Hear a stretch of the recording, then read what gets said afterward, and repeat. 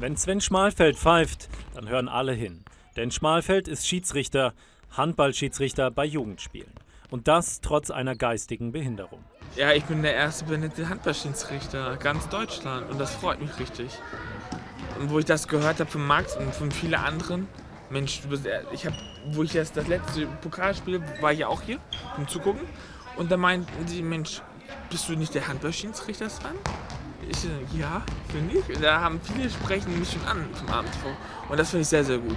Der 22-Jährige genießt seine Zeit auf dem Parkett. Sein ausgeprägter Sinn für Gerechtigkeit half ihm dabei, Schiedsrichter zu werden.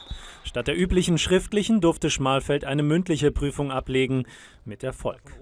Ich sage ganz ehrlich, ich bin stolz, dass ich das geschafft habe. Ich kann jetzt pfeifen. Ich pfeife nicht so hoch, wie ich das so haben wollte. Ich pfeife immer Stück für Stück, dass ich das langsam hochbekomme. Sven Schmalfeld ist durchaus ambitioniert, auch wenn er nicht alleine pfeifen darf. Zu groß wären die Diskussionen nach Fehlentscheidungen. Deswegen ist sein Mentor, Trainer und Freund Max Rode immer dabei und unterstützt seinen Schützling nach Kräften. Das ist auch menschlich für ihn ein wahnsinniger Schritt in die Selbstständigkeit. Ne, er kann entscheiden, er, er muss entscheiden hierbei, da kann er sich nicht drücken. Schmalfeld hat den Schritt gewagt, trotz der Skepsis vieler Außenstehender. Er lebt seinen Traum und ist längst ein Vorbild für alle geistig Behinderten.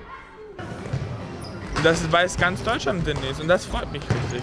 Das macht, das macht mit mehr Kraft beim Pfeifen.